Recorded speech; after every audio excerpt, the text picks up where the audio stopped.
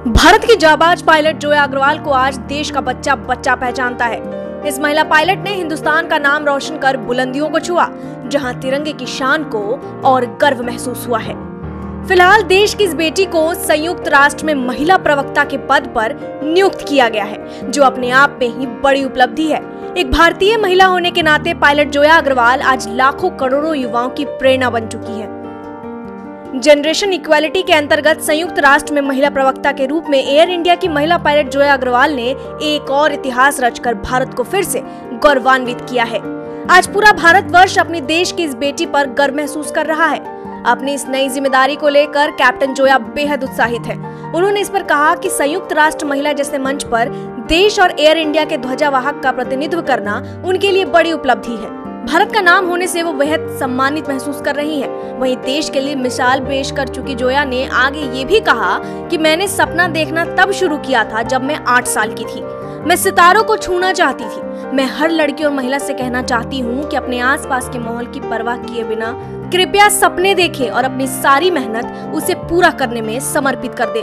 हार न माने। यहाँ पायलट कहती हैं कि भारत सरकार और एयर इंडिया को मेरा धन्यवाद। मैं सरकार की आभारी हूँ, जिनकी वजह से इस वर्दी में देश सेवा करने का अवसर मिला। साथ ही एयर इंडिया ने यहाँ तक पहुँचने के लिए मुझे इजाज़त दी, उसके लिए भी शुक्रिया। अपनी सफलता को लेकर जोया ने ये भी कहा कि मैं जिस जगह से आती हूँ, वहाँ से यहाँ तक का सफ़र करना वाकई बेहद खास है। आपको बता दें कि पायलट जोया अग्रवाल ने पहले भी देश का नाम ऊँचा किया है। जनवरी 2021 में कप्तान ने एक ऐतिहासिक उड़ान भरी थी, जिसकी प्रशंसा पूरे विश्व में हुआ। सोशल मीडिया में जोया के कारनामे पर खूब वाहवाही हुई थी। इस काबिल पायलट ने एयर इंडिया के महिला सदस्यों के साथ अपने भारत के लिए सबसे लंबी नॉन स्टॉप कॉमर्शियल फ़्लाइट उड़ाने का बेहतरीन इतिहास रचा था। जोया ने सैन फ्रांसिस्को से बेंगलुरु की इस दूरी को बिना कहीं रुके पूरा किया था, जो अपने आप में एक रिकॉर्ड बनकर साबित हुआ। इस हैरत अंगेज कमाल के बाद इस महिला शक्ति की पहचान पूरी दुनिया में फैल गई। हर तरफ़ सिर्फ़ इनकी ही चर्चा होती रही। यहाँ आपकी जानकारी के लिए बता दें कि पायलट जोया अग्रवाल अभी भी सैन फ्रांसिस्को से बेंगलुरु की फ़्लाइट की कमान संभाल रखी है। फ़िलहाल एयर इंडिया की पायलट कैप्टन जोया अग्रवाल संयुक्त राष्ट्र में महिला प्रवक्ता का कारभार संभालने की तैयारियों में है।